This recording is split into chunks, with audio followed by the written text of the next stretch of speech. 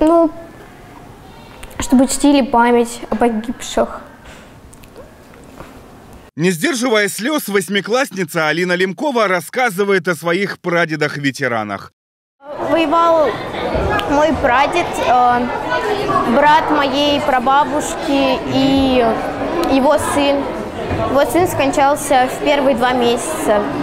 Прадед Алины Федор Усольцев прошел всю войну. Победу встретил в Берлине. Вернувшись на родину, он работал крановщиком в строительном управлении. В Бийске возводил первые крупнопанельные дома. Он был лучшим по профессии. Его называли «Поднебесный ас».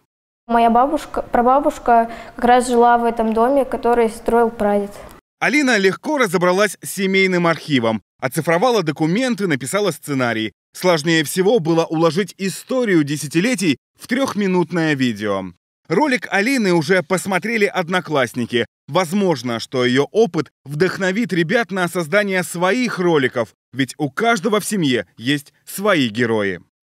После просмотра моего ролика многие заинтересовались в том, чтобы узнать историю своих предков.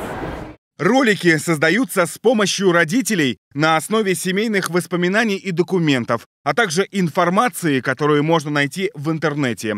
Эта работа сближает разные поколения и соответствует идее конкурса, которая заключается в том, чтобы дети создавали историю страны через историю своих семей.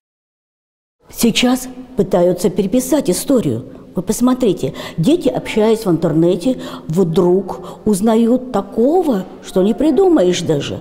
И очень важно, чтобы сегодня они осознали, что именно нашим предкам мы обязаны этой великой победой, этой жизнью, которая нам дарована.